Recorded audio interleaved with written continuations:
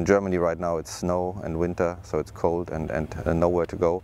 We want, uh, we want good conditions to practice at and this is what we find here. Uh, I think the, the practice course is in fantastic condition. Um, greens are running really true and, and quick and, and this uh, driving range is the best I can imagine. So it's really, we have a lot of reason to come here.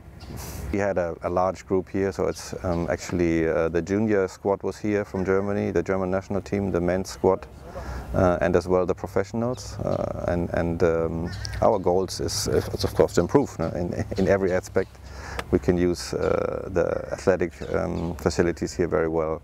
We brought two physios, we brought an athletic trainer, so um, yeah, we're working on and a mental trainer. we work on every aspect uh, and uh, to improve our players and, and trying to get the full full picture what they need uh, to play decent golf uh, and and uh, we want to help them get on the tour. That's our that's our goal.